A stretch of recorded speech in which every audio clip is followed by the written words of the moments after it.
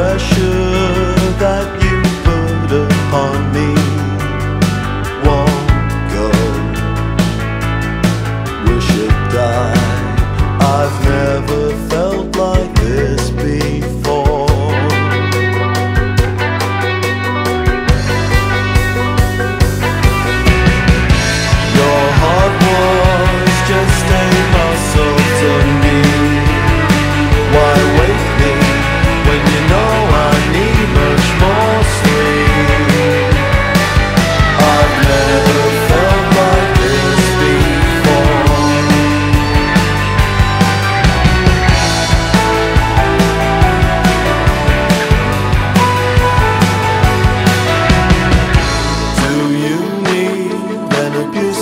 Master to beat your face to a pulp.